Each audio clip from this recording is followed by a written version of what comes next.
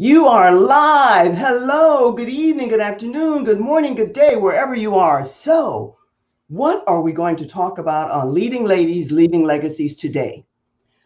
Well, we're all confined, we're sequestered, we're in lockdown. So, most of us are thinking about work and how we're going to continue on in the best way or find new or whatever. So, we're going to talk a lot about marketing and speaking and how you maybe get out there and get your message known more so. Because this leading lady that we have today, oh, her background is never ending. We're going to discuss that. I am Joy Ruffen, signature style specialist, professional speaker, and the creator of Leading Ladies, Leaving Legacies. Now, every week I bring to you a leading lady, a lady who has gone through some type of transformation, internal and external, and then that has brought her to her discovery of what she's doing now. And so we're going to discuss that with our leading lady tonight. And the leading ladies that are here and those that I work with hire me to amp up their wow factor because they're just tired of styling themselves and they want to erase that struggle and spending way too much money. We're going to talk a lot about that later towards the end. But for now, let's say hello to our guest tonight. I'm going to bring her up Katrina, hello, hello, hello, hello, and welcome. Hello. to have you here. Hi, Joy. Thanks for having me. Oh. I'd love to be a leading lady like yourself. So very honored. Very oh honored. Oh Listen, you are no more honored than I am because to me, every woman is her own leading lady and beautiful in more ways than she knows. And you are fascinating to me because of all the work that you do. Your background is just never ending. So tell us a little bit about what you're doing now and how you got started. well, I've always been in some kind of sales and marketing job, period. I mean, I think I, my mom wouldn't, I don't know how it happened because she's like the complete opposite of me. So is my dad as far as being a sales oriented, marketing focused. Um, but I just love it. I've always gravitated towards jobs where I could be in the mix and talking to clients like that. Um, when I first found my love of wanting to be an entrepreneur, well, I knew I wanted to be an entrepreneur since college, but I wasn't mm. sure what that looked like. I wasn't sure what kind of business. Um, I knew it would just kind of come to me, right? So then I, I got into this advertising job for selling newspaper advertising like 20 years ago uh, in the Sacramento area. Uh-huh. Uh, and that's where I found the love of the small business owner and because I would knock on doors. I'd literally go around town driving around town, knocking on doors, asking people if they wanted to run an ad. And it's uh, it really was a very challenging job, but I was good at it. It's a numbers game. You know, you got to hit so many doors in order to find the people that are willing to talk to you, much yeah. less buy from you. Uh-huh. And uh, but then I would also see them going out of business left and right because they were throwing money at random advertising opportunities and they didn't really know how to take those leads and turn them into recurring business or things like that. So I I learned that it wasn't just about getting them exposure and people coming in that they didn't really know how to keep the business. So that's when I yeah. started my own business and really was helping them do all the things that it requires to keep a consistent money making business model. Well, that's fascinating. And you know what? More so is the way that you express that because you said that you always kind of knew and you started off, you wanted to be an entrepreneurial person. Yes. You know, one thinks that initially because most people don't even know what the word means. So at some point in time, you decided that you wanted to be your own agent and you wanted to learn everything that you needed to know so that you could begin what you wanted to do for you and then help others to do the same. Would there be some truth in that? Oh yeah, totally. And it was scary. It was, I mean, uh, my advertising job, you know, it was kind of base plus commission is how I was paid. And I was always top in sales because I did really well. I was very consultative, mind you, with the clients. And uh, I remember getting swayed away or uh, attempting to get swayed away to the radio stations to sell radio advertising. And I would say to them, no, you're commission only. I could never do that. That's just too scary. right? And and then like a couple years later, here I am, my own business. Um, hello, it's commission only in your own business. yeah, it, it's scary. I think scarier. it is scary for a lot of people, and especially now with this pandemic that we're all involved with. There are so many people who are wanting to start and do their own, and yet they are used to a paycheck for moons, many moons ago. I was one of them before I even started this, and yet I understood the dynamics behind it. But tell us, how did you get into the marketing and making sure that the people that you're working with, because first I should ask you, because I know the answer, but I'm going to ask anyway. The message is important, right? The message is everything. So, how do you help the people who are getting into their own business to learn and to get to the message that fits them best and how to market it? Yeah, back then it wasn't the message because uh, it was in a way like you had to have the attention getting headline, uh-huh. the the right bullet points in the ad or the flyer or the whatever piece, and then the right call to action that would make people want to go, okay, I'm ready to buy. Here's my credit card. So in that regard, yes, you need to have those right words, whether it's in your 30 second commercial at a networking event or whether it's uh, on a web page where you're trying to get someone to either buy something or opt in for a free thing you'd think that you know hey i'm giving you this free thing that everybody would just go get it. But no like sometimes our conversion rates on those free gift opt-in pages are literally 20% You'd think well why aren't they going to get my free thing? Well you haven't sold them enough. You haven't made a compelling argument enough why they need that free thing and the email address is very valuable to a lot of people. So yes, the message is important and there's so many different ways that you use it. And a lot of people just don't think about all those different ways that it has to be given. Great explanation. And the way that you explained how important words are. And you taught me something about that. Let me tell you. And I am a wordsmith in my fashion. And yet sometimes you just get carried away with stuff and you let things slip by and you don't give it enough thought. But how you word things and how you present to your target audience, that's major, right? Yeah. Well, and because you had written like, uh, and she helps people, she'll kick you to the curb or something like that. And she'll do it with love. And I'm like, well, wait, I won't kick them to the curb. I kick them in their butt to get more clients. There is a very specific, yeah. So, yeah, I mean, this is why when you have someone that wants to share your information, or if you are a speaker, you have to give people the little blurbs pre-written, ready to go, because everybody's busy. Everybody's busy. They need to just copy paste and post. It, it's a copy paste post world. yeah, if, you're not, if you're not hand fish, you know, hand delivering that stuff that you want people to use, uh, then they're most likely going to do it wrong. Uh, because not that they don't think or look or aren't smart, but we're just too busy. Yeah, and that key word, busy, that's a word that's just buzzing everywhere. And sometimes I wonder, Katrina, we're all confined, we're home, and we're working probably more than we did originally, and yet we're super, super busy. So I suppose there's a lot in that word busy, but we'll leave that. You mentioned a word earlier that I want to piggyback on, and you mentioned networking. How important have you found that to be for you now and when you started out? Well, networking and follow up are the the only reason that I'm here doing what I'm doing. Ah. It is how I started. It's how I continue to market my business. Now I happen to love networking, so I'm a very much an extrovert. Uh, so I know that's not everybody. It might no. be only half of your audience, right? Yes. And so if you're not an extrovert, then what do you do about that? But there there are ways to make it more comfortable for you. And not everybody needs to network. And now we're networking online too. So there's networking online, there's networking in person, and now there's networking virtually.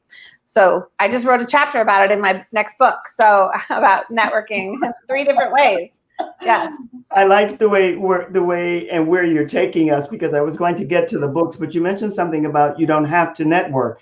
And I agree with that. And you mentioned the extrovert and the introvert. And I think there's a big discrepancy and, and the meaning and understanding of what that mean is misconstrued a lot because you can be very successful in this online business being an introvert. You don't you have can. to extrovert. Mm-mm. And I think people no. need to know that. Can you speak to that a wee bit more? Yeah, well, there's like there's like 20 different marketing strategies that I teach in a typical workshop or in my coaching programs. Uh-huh. I would say uh, at least five or six of them are very much ones that extroverts gravitate to and introverts shy from, like video, speaking, networking, the, the top three, right? And frankly, those are the top three most important ones that I think if you can embrace it and just do it in your way, you will get more clients. You, uh, if you avoid speaking, networking, and video altogether, you're going to have a long road of mark mm-hmm. of like online ma- marketing and busy work in order to find the number of clients you can. If you could just show up once in a while, uh, you know, live, and people can get to know you. I like the three, the big three. Now let's speak to speaking because I know that you're involved in a lot of speaking organizations, companies, yeah. networking. So tell us a little bit more about that. So speaking, I always say is the number one fastest path to cash. Yeah. Uh, especially if if you are the speaker presenting. Now this is more of an interview style, right? But it's still speaking. Uh, myself on a Facebook Live is still speaking. It's just I I created my own speaking gig. If I hosted my own Facebook Live, me being a guest on your show is like a guest speaking opportunity. Uh-huh. Uh, in person events, uh, you can host your own event or conference or workshop or seminar, one hour to four days or whatever it is, and then you're the host. That's still a speaking gig.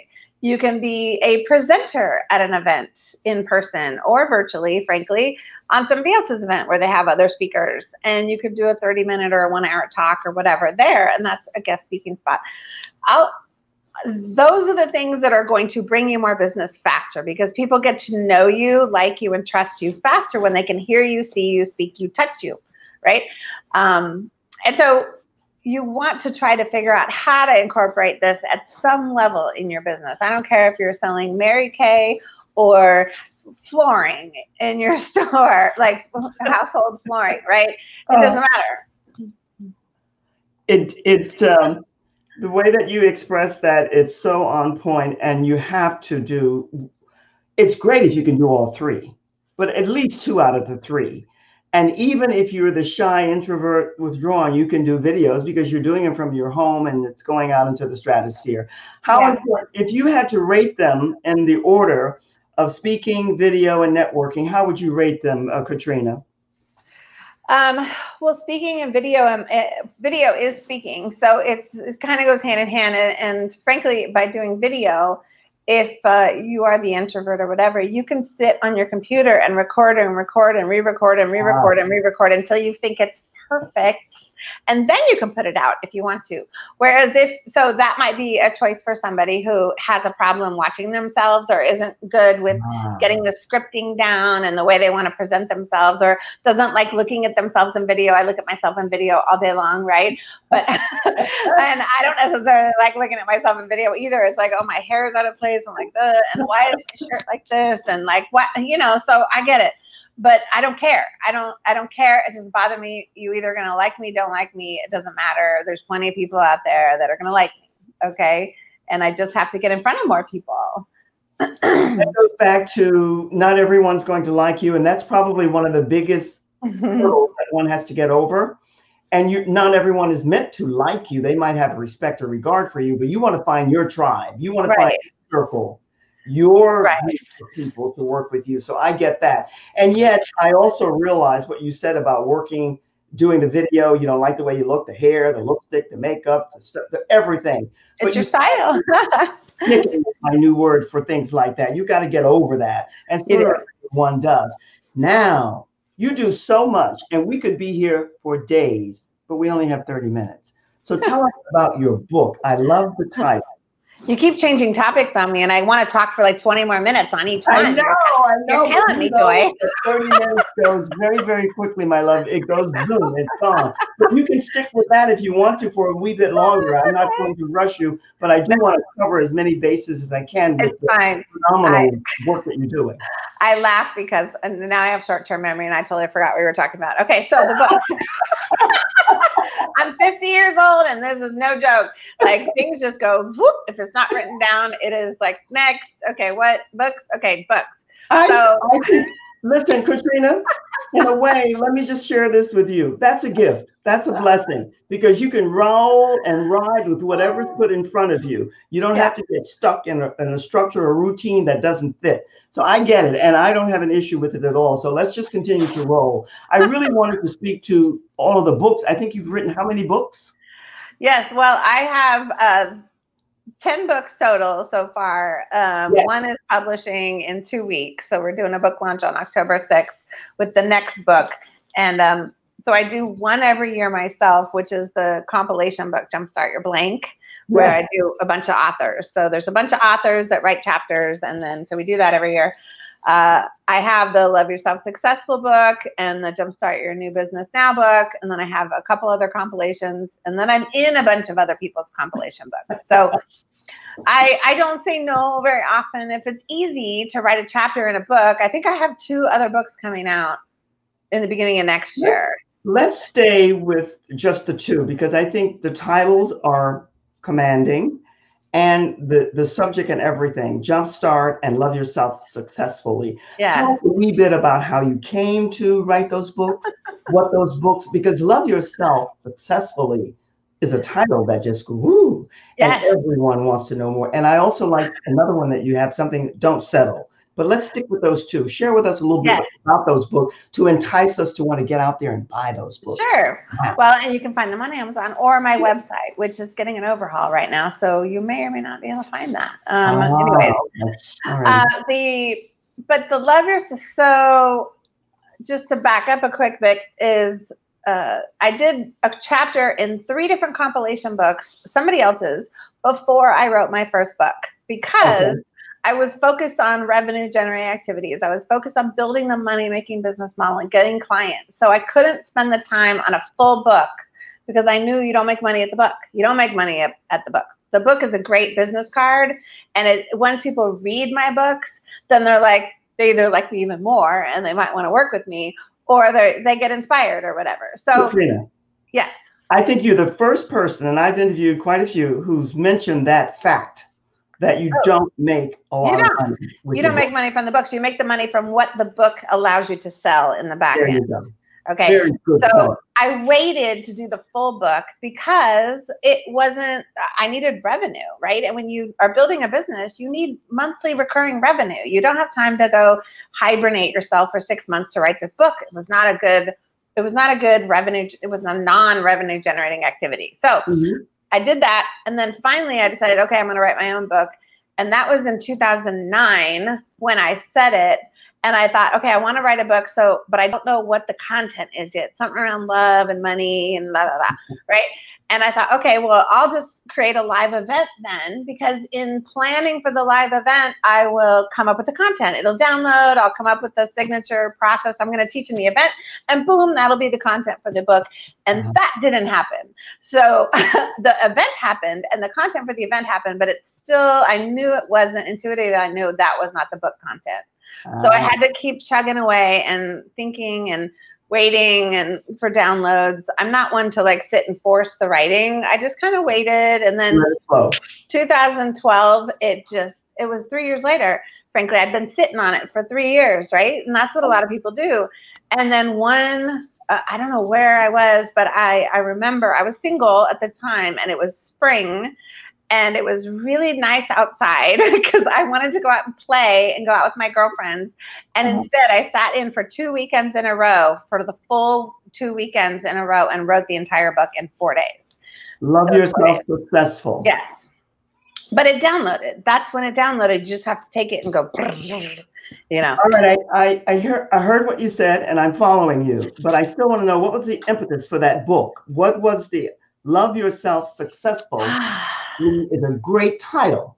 yes. And there's another question I have down the road, but what brought that title to you and what's in that book that all of us have to rush out and get Right.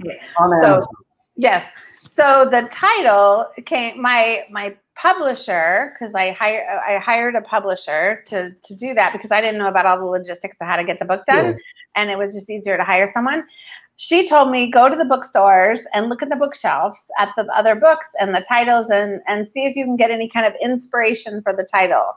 And I was looking and looking in the business and the love and the inspirational self love and all these kinds of different sections. And then I saw Michael Port's book, Book Yourself Solid. I saw his book, Book Yourself Solid, and I thought, love yourself successful. And it just came to me in the bookstore. And I'm like, boop, that's the title. And then I went home and made sure it wasn't trademarked or anything like that because you got to do that.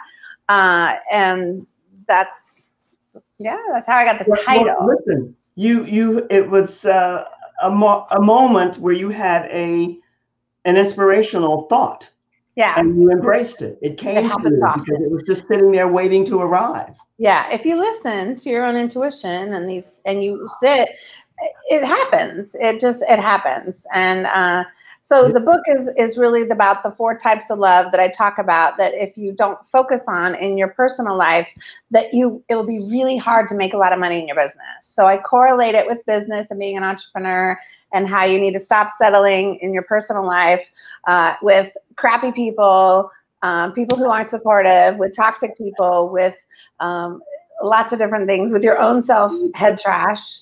and uh, I I like yeah. the crappy people. No, we don't want the crappy people around us. The we, people we want get people who embrace and support and help us to rise. Listen, you have such a great story, and I love the story and how you share with us about how you came to the book because I just think the title is beyond. But I'm going to ask you now to just take a quick seat in the green room, and I'm going to take a quick intermission and I'll be back with you in just a second. Yeah, you bet. Mm-hmm. Absolutely. Don't you love it? It's just so exciting. I mean, for me, I hope it is for you. I'm sure it is. And for those of you who come for the replay, welcome and thanks for being here. The whole intention is that you will connect and unite with Katrina because this leading ladies leaving legacies is all about connecting one lady with another and we get a circle and a group of women who are all supportive of one another I'm also inviting you to join my Facebook group, Leading Ladies Leaving Legacies.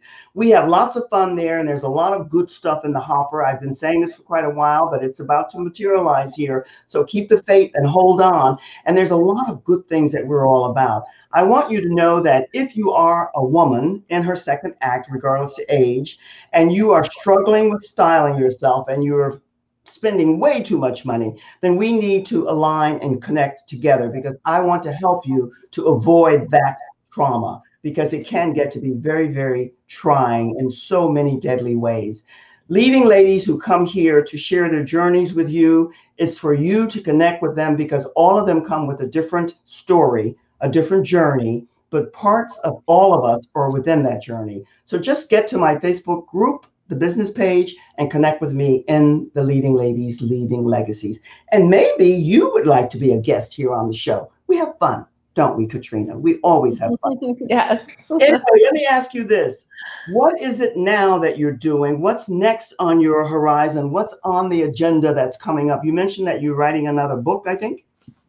Yeah, so the next compilation book with 15 authors is publishing on October 6th.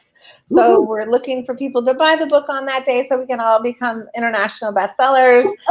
and then uh, I host a live event every November called Jumpstart Your Biz in a Weekend. And that is happening now virtually, which I'm excited about because I've got a whole bunch of ideas from all the virtual events I've attended on how to make this an amazing experience for people. Wonderful. Tell me, you do so much, and that's good because I think I every now and then I meet a woman like you, a lady, and I just give her the label, a Renaissance woman. We know what that is. And I see you in that light. So tell us, what is it that you enjoy most of all and all the wonderful things that you do? And don't tell me everything. Don't tell me everything. There's usually one to three things out of all the things that one does that gives them more pleasure and they get more impact and success and love from the people that they're working with. So share with us that if you can. Of course you can. Yeah, sure. Well, I love it when I get on a call with a client who I've been working with, uh, and she just landed a new client at the new rate or the very high price program that we just created. And she is bouncing off the wall because she never thought she could charge that or make that or someone would pay her that and she had the courage to speak it. I always say, people ask me how much to charge. I said, as much as you could possibly say without stuttering. and then when you stutter, you lose the sale. So don't say a, a, number you can't say without stuttering. And when I see their their eyes just light up, even if it's they raise their price from 150 to 200 an hour, or but it, I love it when it's like we've created a four thousand dollar program and they go and sell one, and they're like, oh my god.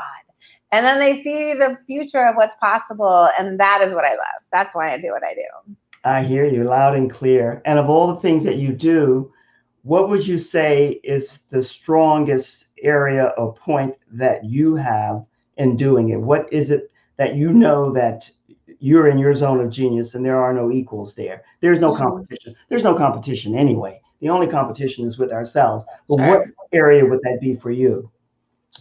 it's really analyzing what someone needs to do. It's that it is that pure jumpstart of uh, looking at where they're at, where they want to be, and then being able to see their next couple steps. So the order of importance that they need to do things in, or how they need to change, or what to say, etc. It is that uh, my genius is being able to tell people exactly what to do because there's too many options out there and they get overwhelmed with them all and they think they have to do everything. And I'm like, no, you need to make five thousand dollars. You have this program. You got to. This is what you do. Boom, boom, boom. Done. You know that that that Katrina. That is a gift. That is a blessing. And that is something that's very, very special because there is so much out here. You you're bombarded every day with everything. All right, now let's hop into style how what does style mean to you and how would you classify your style well i'll tell you my style has changed since covid because my style is very different now it's only from the waist up yes. and everybody else right and you so i've been talking a lot more and you probably have too with your stage right my stage yeah. is what you see us in a video screen so mm-hmm. there's I can't tell you how many people are not well staged and they just continue to do these calls. Or I have this one guy in my program who comes to the call every time in the same orange t shirt. and he's sitting on his bed with his laptop. And I'm like, dude, first of all, change your shirt. We remember you wearing that orange shirt the last couple times we've seen you. and get off your bed, get some lighting on you. Um, and stage yourself, right? So, like, uh, I have more books. I'm going to have to build some more shelves down here, right? Now, I wish I, I don't know. I have like two a foot behind me. I don't have a lot of foot. So, so everybody's different, and don't use those virtual backgrounds, please don't. And so when I think of style, I think of yes, you need to ha- be well put together. Accessories are great on video, like a big bold. You have a big bold statement necklace, right? That's awesome. Mm-hmm. Um, but your, your style needs to exude out into your little space. You you are preaching to the choir, and I love everything that you said, and you're spot on. what style, as far as a category, where do you put yourself? Romantic, classic, chic, mm-hmm. dramatic? Where, where do I'm casual, casual and comfortable, and, and, as dressed up as I can be, as still being casual and comfortable. And I say that because I've had two total hip replacement surgeries in my life in the last eight years, and I've also had a foot surgery, so I can't wear heels anymore. So I'm very, I have. It's not as fun. Like I used to be like hot dresses, skinny with the heels, and oh my god, I just no, thank you anymore. Thank, thank you for your your. if no, no, I, I I heard you, and I love the way you express your style and what style is. That's really important because most of us are in this box, and you use the word stage here. Yeah. And how you show up and present your presence, it still matters. And if you're a professional in leadership, you cannot poo poo and put it way on the back burner. Listen, my love, things go here. Time just flies here. I don't know where it goes into the stratosphere somewhere. But leave what words of wisdom would you like to leave us with? What point of information would you like to leave us with? Whatever that might be, before you say so long for now, thank you for being here. It's been my honor and pleasure to spend this short time with you, but we're going to spend a lot more time together. That I know. But what words do you want to leave us with here tonight? Well, I would say life is short and you have to do it now. Whatever it is for you, whether it's uh, leave your crappy marriage and find a better man, or jump out of your uh, of your comfort level and start your own business, or ask for a raise from your boss or fire your horrible client that treats you like you know what or whatever it is. Like there's no time but the present to do it now. And so just uh, find the courage get the courage get the support of people around you and life's too short. You got to do it now. Now now is the word you're leaving us with and i like that. Thank you thank you thank you trina. You are special. I'm going to put you in the green room. Stay there for just a second and i'll be right with you. Thank you. You are a delight thank you hold on. Ah, don't you just love her? I mean, she's a bundle of energy. She's got so much going on. She's chuckling over there, but it's true. And for me, and hopefully for you, because that's why we do this show, so that you can align with women who will offer you so much and give you so much. And Katrina would be one of them. Remember this when it comes to style. She mentioned something about a large choker necklace if you're doing this online work virtual here in the box. Just make sure you show up the way you want to, looking your best. Don't get caught up and go over to the dark side in the casual, like the guy she mentioned in the orange shirt, because that's just not good and it doesn't show you in the best light. I don't care how brilliant you are and all the other variables that you can mention there. It's always good to be with you. We hope that you will connect with the women who come here. That is the whole intention, so that you can, if you, if not for you, then you might know someone that can benefit from the services that they offer. In the meantime, we're still in this pandemic, so do everything they're telling us to do. Wear that mask. God knows none of us are in love with it, even the pretty ones, but yet do it and stay safe, be well, and continue to do all the things that they're telling us. And join me next Tuesday night. I have a new show coming up. I'll tell you more about it. But again, next Wednesday night for another leading lady. I am Joy Ruffen, the creator of Leading Lady, your signature style specialist and professional speaker. Take care, have a great week, and enjoy the weekend. So long for now. Cheers.